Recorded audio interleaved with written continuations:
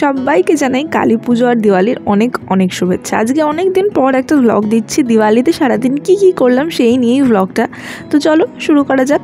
সকাল সকাল উঠে পড়েছি খুব হ্যাপি একটা মর্নিং আর সকালে উঠেই না দুটো হলুদ প্রজাপতি দেখতে পেয়েছিলাম। যদিও ফিল্ম করতে পারিনি কারণ প্রজাপতি ফিল্ম করা খুব কঠিন কাজ। তারপর পর্দা টর্দা সরিয়ে দিচ্ছি আর বিছানাটা গুছিয়ে নিচ্ছি।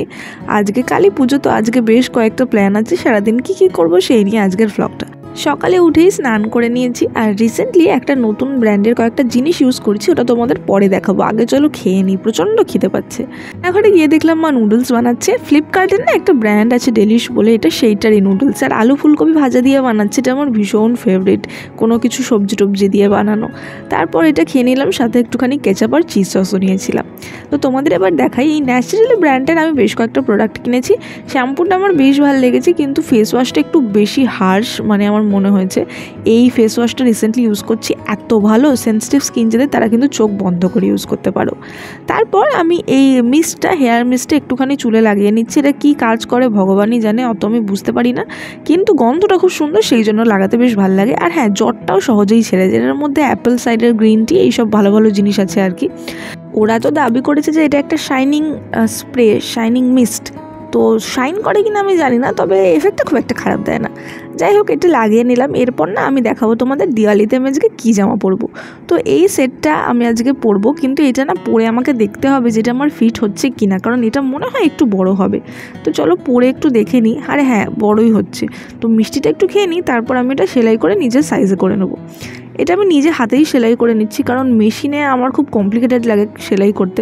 তা সহজেই আমি হাতেই করে নিতে হাতেই করে নিলাম।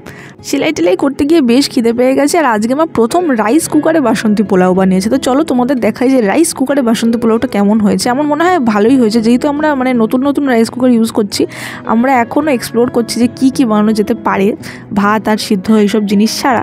তো বেশ টেস্টি হয়েছিল, তার সাথে ছিল আলু ফুলকপি, ডিমের কষা। এই শীতকাল মানেই প্রত্যেক দিন ফুলকপি আর আমার এই সবজিটা বেশ ভালো লাগে, তাই I am not complaining at all তো পেট ভরে লাঞ্চটা করার পর আমার আর একটা ইম্পর্টেন্ট কাজ আছে, সেইটা তোমাদের দেখাবো। দেখো, আমার এই ঘরের এখানে না একটা আলপনা আমি অনেক দিন আগে দিয়েছিলাম। কিন্তু এটা ফেব্রিক কালার দিয়ে দিয়েছিলাম বলে ঠিকমতো উঠছেও না, আবার ঠিকমতো নেইও। তো আমি ভাবলাম, কী করা যায়? তো আমি তাই জন্য কী করলাম? এটার ওপরই আবার বুলিয়ে দিচ্ছি। তোমরা যারা ফেব্রিক কালার দিয়ে আলপনা দাও বা যারা আলপনা দাও, তারা নর্মালি কী ইউজ করো? খড়িমাটি দিলে তো একবারেই উঠে যায়। তাই জন্যই আমি ফেব্রিক কালার দিয়ে দিয়েছিলাম, কিন্তু এটা তো একদমই আটকে গেছে। অনেক দিনই হয়ে গেল, একবারে উঠছেও না, আবার কেমন একটা আধা আধা টাইপ তাই জন্য আমি এটার ওপরই বুলিয়ে দিলাম। এমনিতে আমি আঁকতে ভালোই, বেশি ভালোই আঁকতে পারি বলে মনে করি, কিন্তু আলপনা জিনিসটা আবার অত ভালো দিতে পারি না। ডিজাইনের দিক থেকে আমি বেশ কাঁচাই আছি। তো আমি যতটা পারি সেইভাবেই দিয়েছি। তোমরা কিন্তু কমেন্ট করে জানিও যে আলপনাটা তোমাদের কেমন লেগেছে। আর যেহেতু সাদা মেঝে, তাই জন্য সাদার সাথে একটুখানি লালের ছোঁয়াও দিয়ে দিয়েছি। দেখতে কিন্তু বেশ সুন্দর লাগে। তো সানডে সাসপেন্স শুনতে শুনতে আমি আলপনাটা দিচ্ছিলাম। তোমরা কারা এরকম আছো বলো তো? যারা এরকম সানডে সাসপেন্সে গল্প শুনতে শুনতে আমার কিন্তু সবসময় এটাই ভালো লাগে যে, কোনো একটা গল্প চালিয়ে দিলাম। কারণ পড়া সবসময় হয় না, কোনো একটা কাজ করতে করতে তো পড়া সম্ভব না। তাই জন্য কানে শুনতে শুনতে কাজটা করে নিই। তো আলপনা আমার কমপ্লিট এবার তোমাদের দেখাই কেমন লাগছে। আমার তো বেশ ভালোই লাগছে, মনে হচ্ছে ভালোই লাগছে। আলপনা টালপনা দিয়ে একটা ভাত ঘুম দিয়ে নিলাম। তারপর বিকালে উঠে একটু চা খেলাম, কেক খেলাম, আর বারান্দায় গিয়ে টুনি লাইটগুলো জ্বালিয়ে দিলাম। কালী পুজোর কিন্তু এটাই মজা, চারদিকে কত আলো, কত সব বাড়িতে টুনি লাইট জ্বালায়, মোমবাতি জ্বালায়, প্রদীপ জ্বালায়, কী সুন্দর লাগে। আর দেখলাম মাও মোমবাতি জ্বালিয়ে দিয়েছে, আর আমরা শুধু বারান্দাতেই না, ঘরের ভেতরে লাগিয়েছিলাম টুনি লাইট, দেখতে কিন্তু বেশ ভালো লাগছিল। তো এই সব তোমাদের দেখিয়ে যাই, এবার রেডি হয়নি। কারণ আমি আর মা একটু ঠাকুর দেখতে বেরোবো। আর আমাদের এখানে না খুব বড় করে কালী পুজো হয়, দুর্গা পুজোর থেকেও বড় করে কালী পুজো হয়। আর সব জায়গায় মানে এইটুকু জায়গার মধ্যেই এত এত প্যান্ডেল হয় যে খুব মজা লাগে। তো আমি সিম্পলি রেডি হচ্ছি, এত বেশি সাজার তো কিছু নেই, কারণ ধরে নাও পাড়ার মধ্যেই ঠাকুরগুলো দেখব। তো টোনার লাগিয়ে নিয়েছি ময়শ্চারাইজার লাগিয়ে নিয়েছি, যদিও সিম্পলি রেডি হচ্ছে সিম্পলি রেডি হচ্ছি বলে অনেক কিছুই আর কি সেজে ফেলেছি। তারপর কনসিলার লাগিয়ে নিলাম আর তারপর লাগিয়ে নিলাম, একটুখানি পাউডার দিয়ে সেট করে নিলাম। ঠান্ডাটা কিন্তু মোটামুটি বেশ পড়েই গেছে, যদিও কালী পুজোর দুটো দিন আমার মনে হয় একটুখানি বেশি গরম থাকে মেবি বাজেটাজি এত আলো, এইসবের জন্য হয়তো একটুখানি টেম্পারেচারটা একটুখানি বেড়ে যায়। তারপর আইব্রাউ সেট করে নিলাম, আর তারপর আমি যেটা করব সেটা হচ্ছে গিয়ে আইব্রাউটা একটুখানি শেপ করে নেব ব্লাশ লাগিয়ে নেব, আর তারপর চলে গেলাম লিপসে লিপটা লাইন করে নিলাম, আর আমার না দুটো তিনটে লিপস্টিক একসাথে মিশিয়ে পড়তে ভালো লাগে।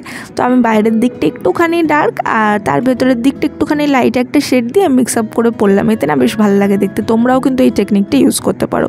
তারপর যেটা করব সেটা হচ্ছে আইল্যাশটা কার্ল করে নেব।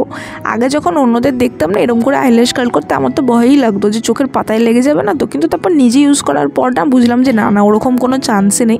তারপর মাস্কারা লাগিয়ে নিলাম। আর আমার ফেভারিট ইন্ডিয়ান সাজের সাথে টিপ ছাড়া কিন্তু একদম চলে না। তো ম্যাচিং করে একটা টিপ লাগিয়ে নিলাম। যেহেতু অলিভ গ্রিন কালারের একটা ড্রেস পরেছি, ওই কালারের টিপ পরছিলাম। কিন্তু এ তো ওঠেই না। যাই হোক কষ্ট করে উঠিয়ে টুঠিয়ে পরেও নিয়েছি। আর আমার সাজ তো কমপ্লিট একদম। আর চুলটা নিয়ে যে কী করব ভেবে পাচ্ছিলাম না। যাই হোক, দেখি কি ওড়নায় পরা যায়। আমার অপশানে এই ওড়নাটা ছিল, এটা খুব গর্জিয়াস এবং খুব সুন্দর একটা ওড়না এবং দেখতেও খুব সুন্দর লাগছিল।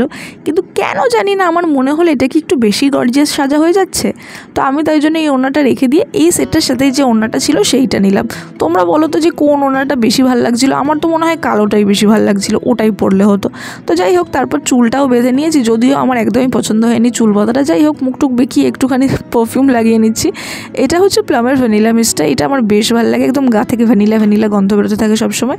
যাই হোক আমি তো একদম রেডি আর মাও রেডি হয়ে গেছে তো চলো বেরিয়ে পড়ি। বেরোনোর সময় আমাদের নেবার লিও তো খুব কমপ্লেন জানাচ্ছিল যে কেন উঁকে নিয়ে বেড়াতে যাওয়া হচ্ছে না। টাটা। তো বেরিয়েই প্রথমে আমরা পাড়ার ঠাকুরটা দেখলাম। এত সুন্দর হয়েছে, আমাদের পাড়ার দুটো ঠাকুরই খুব সুন্দর হয়েছে দেখে একদম মন ভরে গেছে। আর এখন থেকেই না বেশ ভিড় হতে শুরু করে দিয়েছিল। তো আর একটু এগিয়েই দেখলাম যে এখানে মেলা বসে গেছে একটা ছোটোখাটো। আমি তো দেখে অবাক যে বাহ, কী সুন্দর। আর ওখান থেকে এগিয়ে দেখলাম অমৃতি ভাজা হচ্ছে গরম গরম। আর গরম গরম জিলিপি বা অমৃতি ভাজা হলে আমি তো নিজেকে সামলাতেই পারি না। তো এখান থেকে বেশ অমৃতি খেয়ে নিলাম, তারপর এগিয়ে গেলাম অন্যান্য ঠাকুর দেখার জন্য। আর কালী পুজো মানেই তো আলোর উৎসব। চারিদিকে এত আলো, এত সুন্দর লাগছিল যে কি বলব? আর সুন্দর সুন্দর বেশ কয়েকটা ঠাকুর দেখলাম, তার মধ্যে তোমাদের দেখাই আমার ফেভারিট কোনটা। এখানে করেছিল কেদারনাথ। আর আমার এটা এত ভালো লেগেছে, ওই যে দেখছ উপরে, ওই উপরে চড়ে ঠাকুরটা দেখতে হবে। আর ওরা না পুরো ফিল দিয়েছে কেদারনাথের মতো। সিঁড়িগুলো এবড়ো খেবড়ো ছিল, ভয় ভয়ই লাগছিল। তারপর ওখান থেকে বেরিয়ে একটা পুজো স্টার্ট আপ থেকে আমরা খেয়ে নিলাম একটুখানি চিকেন বলস চিকেন উইংস পুজোর সময় দেখবে এরকম অনেক দোকান খোলে, কিন্তু সেগুলো পরে আর থাকে না। কি যে দুঃখ। যাই হোক, বেশ টেস্টিই ছিল। তারপর আবার ঠাকুর ঠাকুর দেখে মায়ের সাথে মজা করলাম। কিন্তু এতক্ষণে আমার ফোনের ব্যাটারি একদম লো হয়ে গেছিল, তাই আর বেশি ফিল্ম করতে পারিনি। তো যাই হোক, দিনটা তো খুব ভালোই কাটলো। তোমাদেরও ভালো লাগলে তোমরা লাইক কমেন্ট করে জানিও আর আমাকে কিন্তু ফলো করে দিও। বাই